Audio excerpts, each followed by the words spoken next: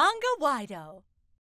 I'm Kosuke Toyama, an employee of Toyama Group, a small construction company run by my father. We build new buildings for construction companies and undertake remodeling projects under direct contracts with our clients.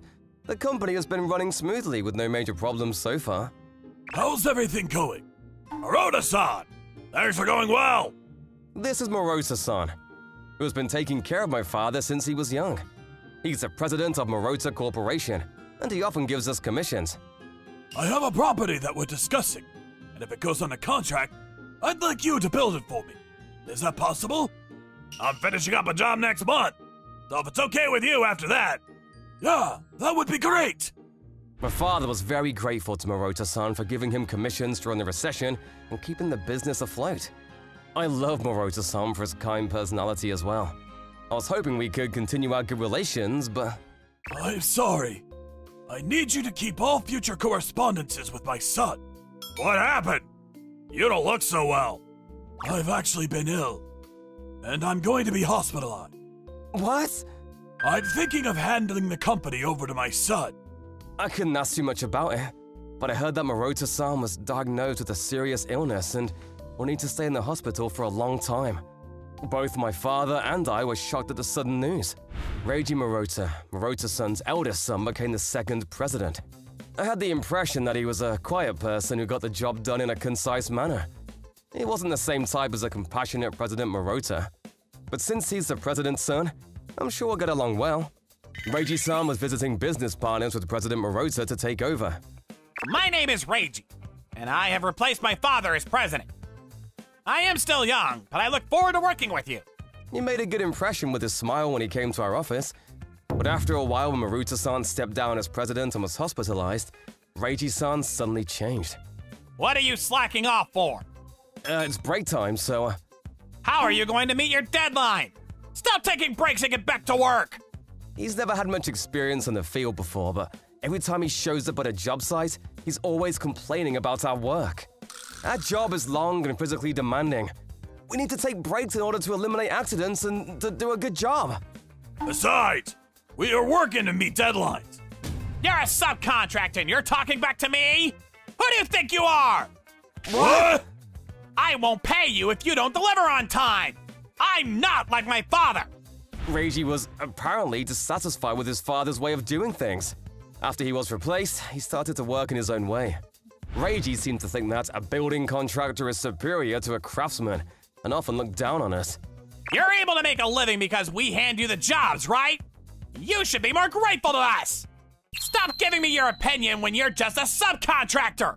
Of course, I talked back, but Reiji threatens to quit the contract if we don't like it. Dad, I can't work the Morota anymore. Yeah. I didn't realize Reiji was that kind of person. There are many other construction contractors that will give us jobs, so why don't we cut Morota Corporation? But my father seemed to have a hard time making up his mind, thinking of how former President Morota had helped him in the past. But then the incident that finally made my father lose his temper. The client of this project is a senior of mine from my college days. Don't you dare cut corners! Of course, we'll work carefully as usual. It's due by the end of September. Make sure you get it done! S- September? I'm sorry, but we can't meet that deadline. I'd like it by the end of October, please. I already told him that I could do it by the end of September. If all your craftsmen work on it, you can do it, can't you? That's impossible! This is not the only site we have. We have another remodeling project to do, so we can't have all of our craftsmen working on this one project. You're saying you're giving priority to other projects?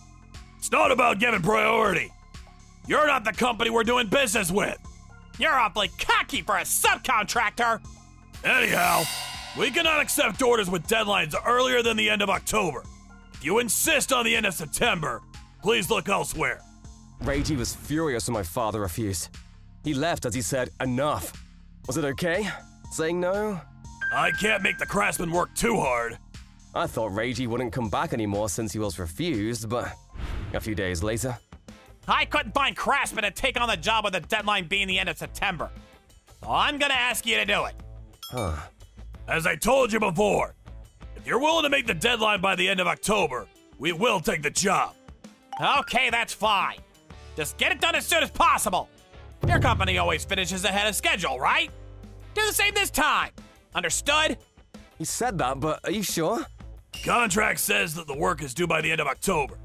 So all we had to do is do it according to the terms of the contract. Now that we got the job, let's get moving.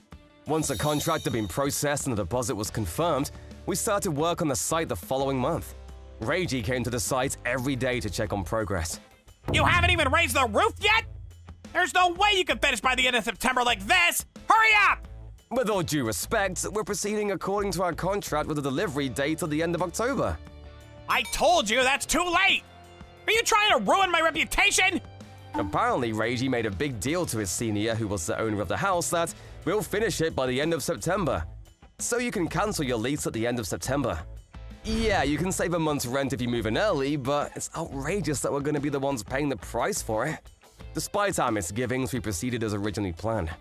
My father, who was the leader, The best thing to do is to build a house that'll be lived in for a long time with careful work. he says, me and my fellow craftsmen followed my father's lead and started at our usual pace. But it seems that Reiji was getting irritated. He came to the site that day and started to lose his temper by himself. I can't believe the windows aren't even in yet! You guys must be slacking! That's not true. As usual, no, we're moving ahead at a faster pace than usual. Reiji is making a lot of noise even though we're taking a break. I, of course, and all the craftsmen are fed up. Reiji doesn't notice us like that and heats up all by himself. Stop eating and get to work! Subcontractors don't take breaks! He kicks the craftsman who was sitting down to eat. What? What the hell are you doing? Suzuki, are you alright? Ugh, my, my finger! Unbelievable! This is unacceptable! You guys, it's over. Let's go home. Kosuke, get Suzuki on board and get to the hospital. Yes! Hey! Wait! What about the construction? Hell if I know! Hey, wait! Wait! Reiji was making a fuss, but we didn't bother and left. Luckily, Suzuki's hand was only bruised, but kicking someone's hand is unforgivable. The next day, Reiji came to our office, perhaps impatient with our absence from the site. Quit bending the navel and get back to the site! How can you get angry over something like that? Both my father and I were furious at Reiji for saying such a thing without apologizing. How dare you without apology? Calm down, Kosuke. It's already too late for an apology. Huh? What are you talking? I filed a police report for assault. What? You know the craftsman who was sleeping in the car at the time? The air conditioner was on and so was the dashcam. Everything you did was recorded. No! With Suzuki's medical report and a video from the dashcam, the police accepted the damage report. When I told Reiji the receipt number, he turned blue. After that, Reiji must have gotten impatient that he couldn't handle it by himself. He forced President Morota, who was in the hospital, to come with him and apologized. The president, who was pale from his illness, turned even paler when he heard what his son had done. I am very sorry for what my son has done. Told me it was going well, so I believed him. I am so sorry. I am sorry. Please withdraw the damage report as I am apologizing. Can you also apologize for disrespecting us as a subcontractor and verbally abusing our craftsmen? I beg your pardon? Reiji, you did that too? I was repeatedly told, if you don't obey me, I'll cut the contract. Who do you think you owe your meals to? Stop! Not in front of my father! Ah, Unbelievable. Reiji, you've been putting on a facade in front of me. no, Dad! I just didn't want the subcontractors to undermine me! Undermine? What the hell is that? The Toyama Group and I support each other to run our business. It's not about who's above or below. Rather, you're the one who's inexperienced, and you're the one who needs to be taught. How can you not understand that? I felt sorry for President Morota, who broke down crying over his son's stupidity. After that, President Morota and Reiji dismissed. Reiji panicked, saying, Are you kidding me? But the president's will was strong. The following week, it was an old employee who came with President Morota. I made Reiji quit. He will be the new president. He's been with me for a long time and he understands our management policy very well. I am very sorry about Reiji. I want you to deal with him from now on. Reiji paid for Suzuki's medical treatment from his savings, and the rest was confiscated by President Morota. and he was evicted from his house penniless.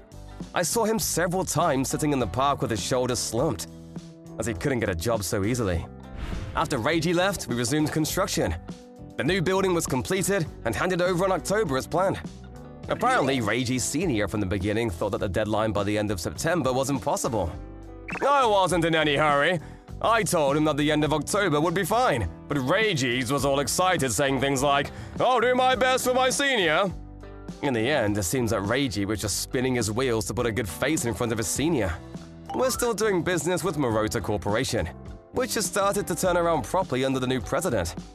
After that, President Morota continued his treatment and his health stabilized to the point where he was able to leave the hospital.